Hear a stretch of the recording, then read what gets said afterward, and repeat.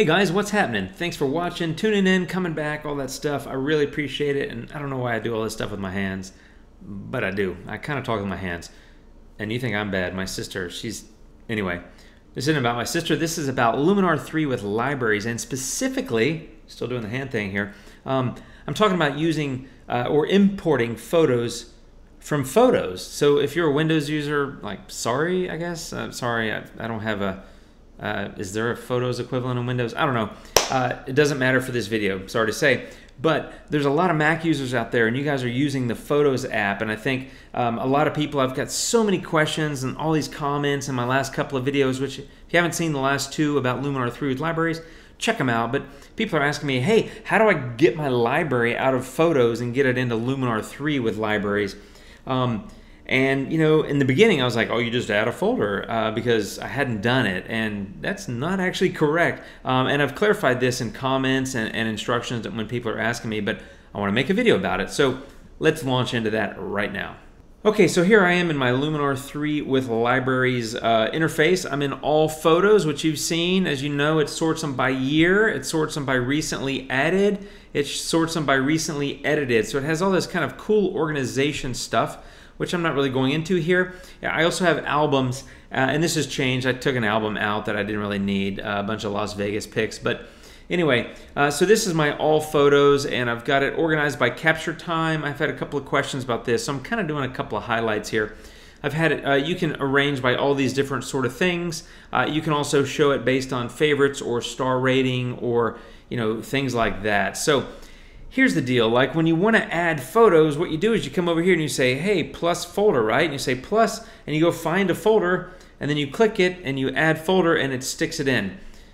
And that's how you do it with folders. However the thing with photos is um, and if you're a mac user you know this um, and if you were an aperture user it's the same thing which is the way apple packages uh, photos and i think iphoto before that um, and Aperture is it's a package, and so the folder structure and the organizational structure is completely hidden from the user.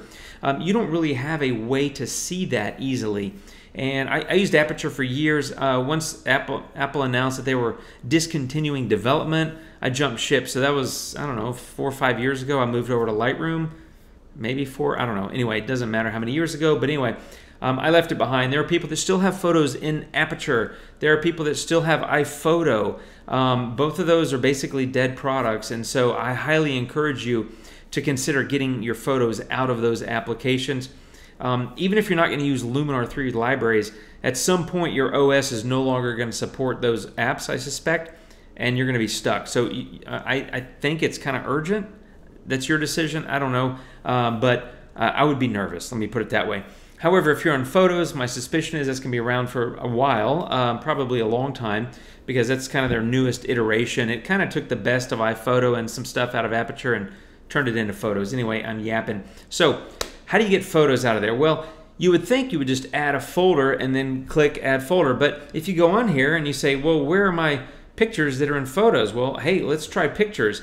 Well, there's my photo library or photos library, but guess what? It's grayed out as you can see. I got my Lightroom library, I've got my Luminar catalog, and you've got history files here, all the state files that are created when you edit, etc. But photos library library is grayed out. So you don't get to it by pictures, and that also means you don't get to it by saying plus and add folder. There's only one way to get your uh, photos information photos God, this is going to get confusing. Get your photos from Photos, the app, into Luminar, and that's with the import command. So you go in the upper left corner, you say File, and you say Import Images. And so uh, here we go. Now I'm in the same place. I'm going to make this folder a little bit bigger, or this uh, this screen here. I'm in the same place, Pictures and Photos Libraries grayed out. Well, hey Jim, didn't you just say I could do this? What's the deal, man?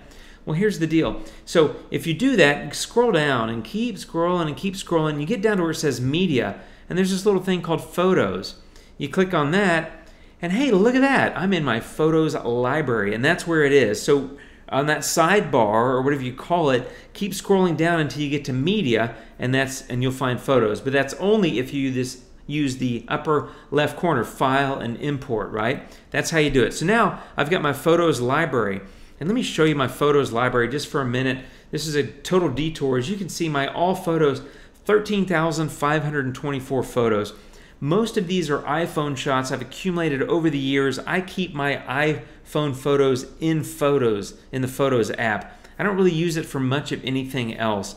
Um, and that's because I use Lightroom for my primary organization, and all my RAW files from my Sony and Panasonic cameras go straight into Lightroom. I don't really put it in photos, it's just iPhone shots. So you can see stuff with the family where we're snowbound, my daughter and I, my daughter again, I take a lot of pictures of my daughter. My iPhone, frankly, it's a great camera for quick snaps. I got videos where I've done some vlogs, whatever. I'm not going to bore you with all that crap. Uh, anyway, that's what you're seeing here, right? So you can go in here and you can say, well, what do I want to do? Well, I want to import some images. Well, where do you want to import them? So you look at import to, and I've got my three folders, and if you look over here, I've got finished pics, I've got Loop 360 Bridge, and test pics. Same thing that's showing up here. Well, I don't want to import them there, so here's what I do. I come over here first, um, and I go to my desktop, which, by the way, is a total mess. Uh, well, not a total mess, but it's kind of a mess. Um, and I added a folder called Photos, right? I got three folder uh, photos in it. Let me just drag those out of here, trash them. Um, and in fact, I'll just trash this folder and I'll start over. So, you know, control, click, new folder. I'm going to call it Photos. Boom, there it is. You saw me just create it. I'm now going to go back to Luminar 3 and I'm going to say add a folder. I'm going to say plus, and now there's Photos. There's nothing in it because I haven't added anything. I'm to say add folder. I've got a folder now called Photos, which are going to be, it's kind of ridiculously, uh, the naming and the, this is getting meta, as they say, right? Anyway, so I'm going to stick photos from the Photos app in a folder called Photos, which is for my photos from Photos. Uh, you might need to get a drink. Um, okay, so here we go. So, um, uh, where am I? Hello, photos. I minimized it. So there's my photos. I've got all these photos that I took with my iPhone. So let me go back to Luminar 3 import command, file, import images. Okay, don't look at your uh, pictures here. Remember, pictures doesn't work. Go to the bottom and go to photos. And here we go. Now I'm looking at, uh, not Luminar, I'm looking at my Photos app and all my iPhone shots that are in there. I got a picture of a parking meter at the airport so I can keep track of where I parked. Lots of pictures of my dog. She's cute. I can't help it. So, picture my dog, right? Uh, I won't give that photo of my daughter. That's kind of funny. A picture of my beer. So command um, a picture of some graffiti, right? Um, you can now. I've highlighted them all with using the command uh, key, and I'm going to put them in photos, and I'm going to say import to folder, and boom, I've got now three photos from the Photos app in my folder called Photos in Luminar 3. Uh, this is going to get crazy. My all photos will include them. There's uh, my dog Zoe. There's the graffiti. There's the beer. If I go in photos, you can see them, right? There's Willie Nelson, a, a mural downtown Austin. There's a beer, and there's my dog, right? So there they are. That's how you do it. I'm not going to import a bunch because it'll take way too long, but I do want to show you something else. Let me go to the Photos app. Let me show you, I dragged a RAW file in there, and it's this RAW file. Now, this is a RAW file from this Loop 360 bridge uh, shoot, right? So let me get up here and show you these, right? So you can kind of see I, had, I took a bunch of long exposures. One of them I dropped in here, and to click on the I button, you will see if you look at the highlighted uh, portion here, it's the DSC what, whatever .arw. That is a raw file taken with my Sony camera. So it's a raw file that I put in photos, right? I'm going to go import that photo into this photos album, right? So remember, file, import images, scroll to the bottom, find photos, and luckily it's the last photo that I've imported into i uh, not iPhoto into the Photos app. So it's right there at the bottom. I'm going to click Photos. I'm going to import to folder, and now I've got four photos, and here it is, right?